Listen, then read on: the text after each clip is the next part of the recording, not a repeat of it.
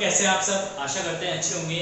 बच्चों, आज इस वीडियो में हम सॉल्व करेंगे एक्सरसाइज 5.8 का क्वेश्चन नंबर थर्ड ठीक है 5.8 के हमने question number one and two solve कर चुके थे। एंड क्वेश्चन नंबर इसमें third fourth fifth and six बचे हैं। ठीक है, इन क्वेश्चन को हम सॉल्व करते हैं और देखते हैं इसका सॉल्यूशन क्या होगा।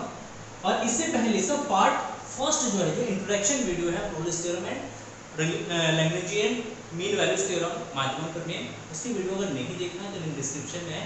वहाँ से आप उस वीडियो को ज़रूर देखिए, क्योंकि मोस्ट इंपॉर्टेंट वीडियो है और पूरा का पूरा कॉन्सेप्ट मैंने वहाँ पे समझाया है। आई होप आपको वो वीडियो पसंद ज़रूर आएगा। तो प्लीज़ एक बार देखिए उसको, ठीक है? और इसको कंटिन्यू करते हैं अभी। देखिए, सबसे पहला क्वेश्चन है, इसमें क्वेश्चन में third function F X that minus five to five tends to R एक सतत अवकल फलन है। मतलब फ़ंक्शन जो है वो कंटिन्यूअस भी है और डिफरेंशिएबल भी है। कह रहे कि यदि एफ़ डैश एक्स किसी बिंदु पर शून्य नहीं है तो सिद्ध कीजिए कि F minus five not equal to five ठीक है? तो सिंपल सी बात है, ये माध्यमन प्रमेय होगा। माध्यमन प्रमेय के अनुसार होगा, क्योंकि नॉट इक्वल टू ज़ीरो दे रखा है तो नॉट इक्वल टू ज़ीरो का मतलब क्या है? तो इसका मतलब है कि माध्यमन प्रमेय को बिलोंग करे तो देखिए, सबसे पहले फ़ंक्शन एफ़ एक्स कोई भी फ़ंक्शन एफ़ एक्स देखा है। एक्स आपका बिलोंग कर रहा है माइनस फाइव से फाइव के बीच में। फ़र्स्ट दे रखा है कि फलन एफ़ एक्स फलन एफ़ एक्स पाँच सॉरी माइनस पाँच है। क्लोज इंटरवल पर सतत है। सतत है। सेकंड हमें यह दे रखा है कि फलन एफ़ एक्स ओपन इंटरवल पर। माइनस फाइव टू फाइव पर अवकलनीय है। अवकलनीय है। ठीक है? तो तथा F dash X not equal to zero इसलिए इसलिए यह माध्यमान माध्यमान प्रमेय। पर लागू होगा। क्या होगा? माध्यमान प्रमेय पर लागू होगा। जब इसका मध्यमान प्रमेय पर इसमें इसको लागू करेंगे तो हमें पता है नॉट इक्वल टू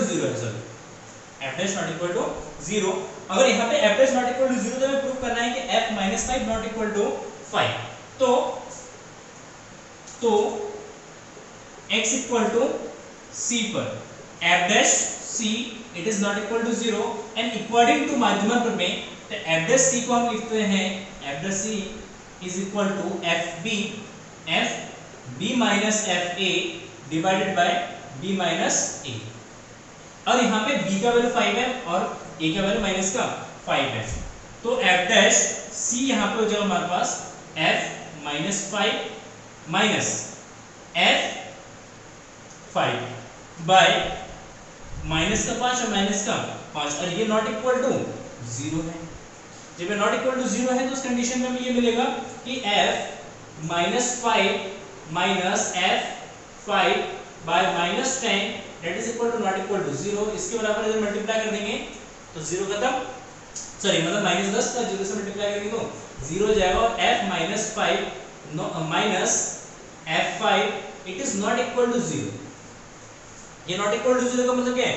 मतलब ये है कि F minus five not equal to F five F five क्योंकि ये जब आपस में बराबर नहीं होंगे, तभी ये ज़ीरो के बराबर नहीं होगा।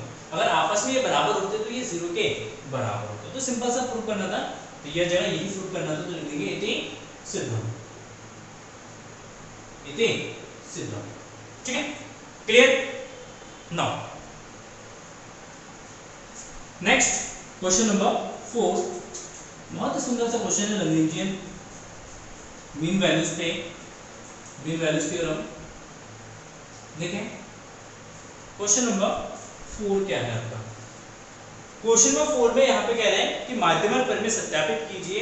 यदि अंतराल a कॉमा b में F X equal to X square minus four X minus three जहाँ a बराबर वन और b बराबर फोर है।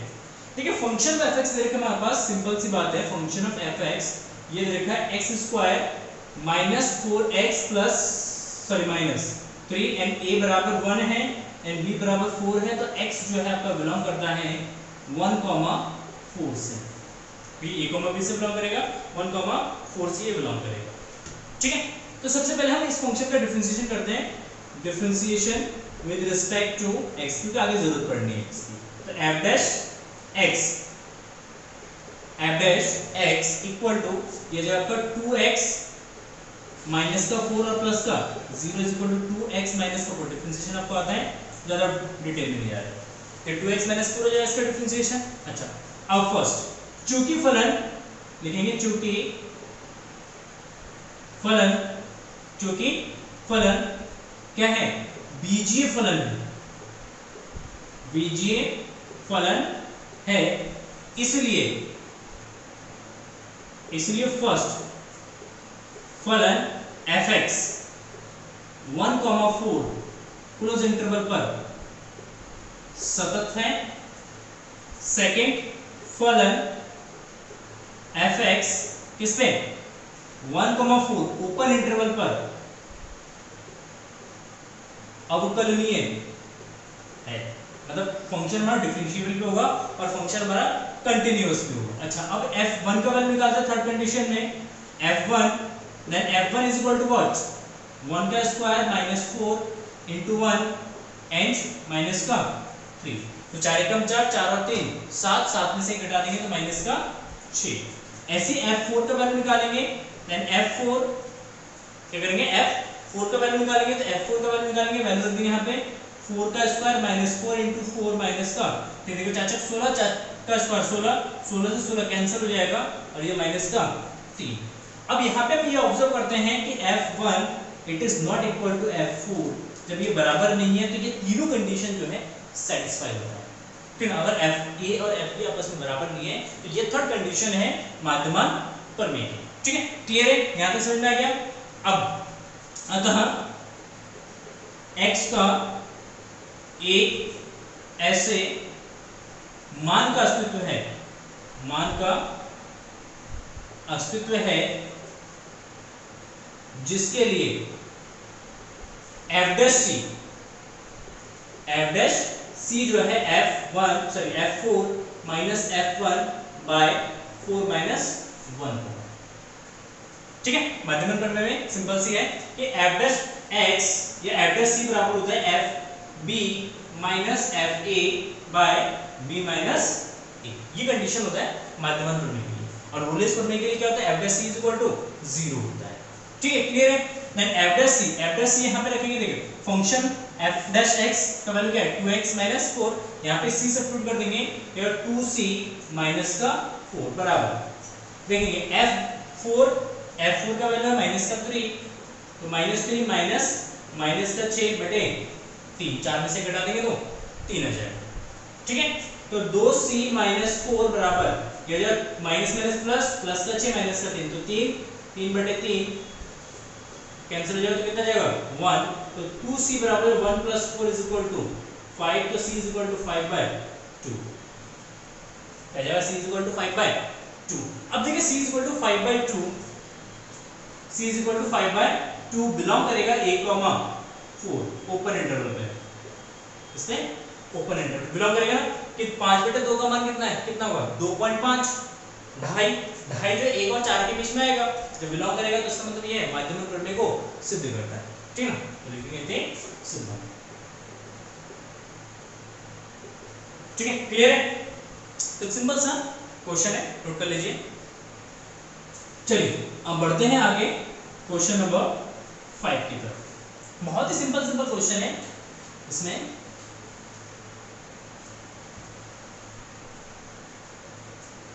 देखो क्वेश्चन नंबर फाइव है।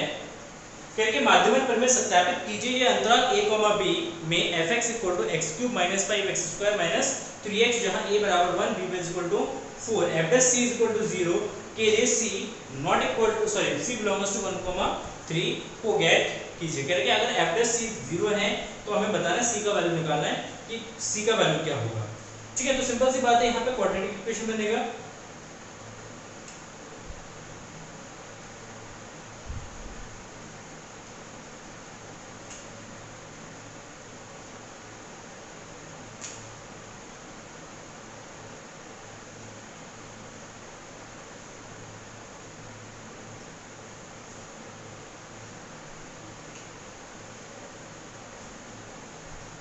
देखिए, सिंपल सी बात है फ़ंक्शन दे रखा हमारे पास function of f x function of f x equal to है हमारे पास x cube minus five x square minus का थ्री एक्स और ए वैल्यू दे रखा वन और बी का वैल्यू दे रखा है तीन तो इसका मतलब इंटरवल हो जाएगा यहाँ पे एक्स जो है आपका बिलोंग करेगा वन कॉमा थ्री से।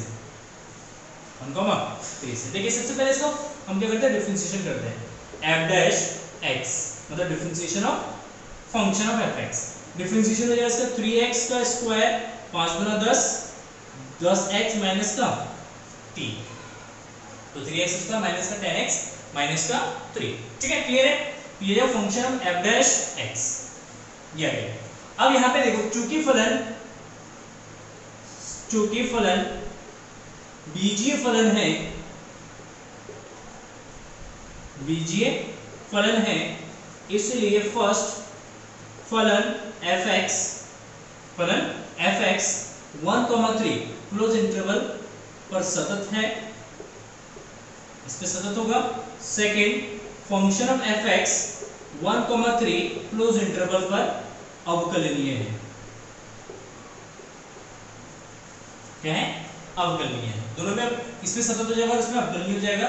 अब थर्ड कंडीशन चेक करते हैं तो एफ़ वन एफ़ वन का वैल्यू यहाँ पे एक्स की वन रख देना तो वन का cube minus five into one का square minus three into one पाँच एकम पाँच, तीन एकम तीन, पाँच तीन आठ आठ में से एक घटेगा तो बचे माइनस का सात. ऐसी एफ़ थ्री एफ़ थ्री का वैल्यू निकालेंगे तो तीन का cube minus five into three का square minus three into three नौ के सत्ताईस माइनस तीन तिया नौ नौ पंच पैंतालीस और माइनस नौ. ठीक तीन कितना जाएगा? नौ हो जाएगा। तो पैंतालीस नौ कितना जाएगा? चौवन। चौवन में से सत्ताईस घटा देंगे तो माइनस का सत्ताईस आएगा अब देखते हैं यहाँ पे f one it is not equal to f three दोनों को वैल्यू आपस में बराबर नहीं है। जब दोनों का वैल्यू में बराबर नहीं है तो ये माध्यमान प्रमेय के थर्ड कंडीशन को भी सेटिस्फाई कर रहा है। तो तो x इक्वल टू सी पर डायरेक्टली लिखते हैं x इक्वल टू सी पर, f डैश c का जो वैल्यू होगा, वो हो जाएगा हमारा f three minus f one by three minus one three minus one f dash यहाँ पे c रख देना की जगह? होगा three c square minus ten c minus three is equal to f three f three का वैल्यू हो गया माइनस का ट्वेंटी सेवन माइनस का एफ़ वन एफ़ वन का वैल्यू हो गया माइनस का सेवन बाय दो में से घटा देंगे दो सॉरी तीन में से एक घटा देंगे तो दो आ जाएगा। ठीक है? तो यहाँ पे आ जाएगा हमारे पास थ्री सी स्क्वायर माइनस का टेन सी और माइनस का थ्री इज़ इक्वल टू अगली माइनस माइनस प्लस सत्ताईस में से सात घटा देंगे तो बचेगा बीस बीस बटे दो तो यह माइनस का दस। दस को चले आएँगे तो थ्री सी स्क्वायर माइनस का टेन सी माइनस का तीन प्लस का दस बराबर ज़ीरो तो थ्री सी स्क्वायर माइनस का टेन सी माइनस का यह जाएगा माइनस का कितना? यहाँ पे सेवन प्लस का इज़ इक्वल टू ज़ीरो ये हमारे पास क्या बन गया? एक द्विघात समीकरण बन गया। अब सात इक्कीस और इक्कीस का सेकंड में जोड़ने घटाने पे दस आए। तो three c square minus seven c minus three c और plus seven is equal to zero ठीक है इन दोनों में से सी कॉमन आएगा तो बचेगा थ्री सी माइनस सेवन इन दोनों में से माइनस का वन कॉमन आएगा तो three c minus seven is equal to zero c minus one and three c minus seven is equal to zero is equal to zero तो यहाँ पे सी इज़ इक्वल टू कितना जाएगा? वन और seven by three seven by three c is equal to one and seven by three ये दो value आएगा, लेकिन but c is equal to 1 that is not belongs to 1 comma 3 ये इसमें belong नहीं करेगा। मतलब c is equal to 1 पे ये माध्यमन प्रमेय को सर मतलब माध्यमन प्रमेय को ये सिद्ध नहीं करेगा यह माध्यमन प्रमेय इसका लागू नहीं होगा तो x equal to sorry c is equal to seven by three होगा, और ये बिलोंग करेगा आपका वन कॉमा थ्री से। तो मतलब x के, c के तीन बटे सात वैल्यू पे ये माध्यमान प्रमेय को क्या करेगा? सत्यापित करेगा। तो नीचे लिख देंगे, अतः x इक्वल टू सॉरी अतः c equal to seven by three पर यह मध्यमान प्रमेय को सत्यापित करता है। क्लियर है? अब यहाँ पे एक कंडीशन पूछा था कि x के किस मान के लिए एफ़ डैश सी ज़ीरो होगा तो x के साथ बटे तीन। X के? सॉरी c के साथ बटे तीन पर एफ़ डैश सी का वैल्यू कितना जाएगा? ज़ीरो हो जाएगा। ठीक, ये अब यहाँ पे लिख देंगे। चलिए आते हैं। नेक्स्ट क्वेश्चन नंबर फाइव हो गया हमारा।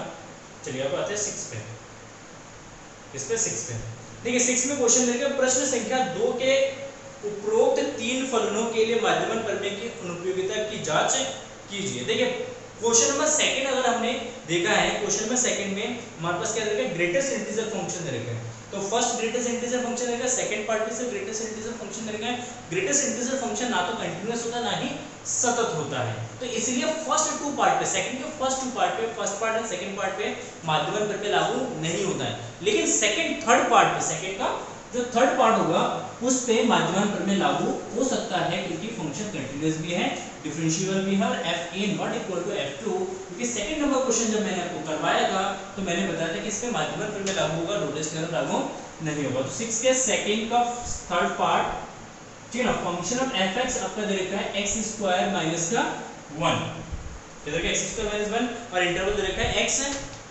इंटरवल दे रखा है एक्स वन कॉमा टू से बिलोंग करता है। देखिए, यहाँ पे एफ़ डैश एक्स क्या हो जाएगा? सिंपल सी बात है टू एक्स होगा। ठीक है? तो फ़र्स्ट फलन कैसा? बीजीय फलन है। तो फलन f x one comma two close interval पर सतत है। कैसा है? कंटिन्यूस है। सेकेंड फलन एफ़ एक्स फलन f x one comma two पर क्या होगा? अवकलनीय है। कैसा ये? अवकलनीय है। डिफरेंशिएबल भी होगा। एंड थर्ड कंडीशन चेक करते हैं कि एफ़ वन का वैल्यू कितना होगा? तो वन का square minus one is equal to zero and f two का वैल्यू जो जाएगा 2 का square minus one is equal to four minus one is equal to three कितना है थ्री तो इसका मतलब f1 not equal to f2 तो इसका मतलब है इसमें माध्यमन प्रमेय लागू होगा। अगर माध्यमन प्रमेय लागू होता है तो x इक्वल टू सी पर f dash c f dash c is equal to what f2 minus f1 divide by 2 minus 1 देखिए, f डैश c का वैल्यू कितना होगा यहाँ पे? 2c सॉरी यहाँ पे 2x 2c लिख दिया 2c f2 का वैल्यू है 3 माइनस 0 f1 का वैल्यू कितना गया? 0 बाय 2 में से a घटा देंगे तो कितना आ जाएगा? A. ठीक है तो यहाँ से c का मान आ जाएगा हमारा। C बराबर आ जाएगा यहाँ से तीन बटे दो। है ना? तीन बटे दो मतलब एक पॉइंट पाँच और एक पॉइंट पाँच जो है आपका बिलोंग करेगा एक कॉमा फोर ठीक है अतः फलन, माध्यमान, परमे को सत्यापित करता है। ठीक? तो ये हो जाए हमारा क्वेश्चन नंबर सिक्स बाकी फ़र्स्ट पार्ट के लिए लिख देंगे कि फलन लागू करता था, नहीं कंटिन्यूअस इसलिए इसमें माध्यम प्रमेय लागू नहीं होगा। ठीक क्लियर है? Thank you for watching this video and have a nice day bye bye और हाँ वीडियो पसंद है तो प्लीज़ वीडियो को लाइक ज़रूर करना। चैनल पर नए हैं तो रेड कलर के बटन पे क्लिक करके चैनल को सब्सक्राइब ज़रूर करिए और अपने दोस्तों से भी करवाइए। Thank you bye bye good night good morning good afternoon जब इस वीडियो को देख रहे हैं।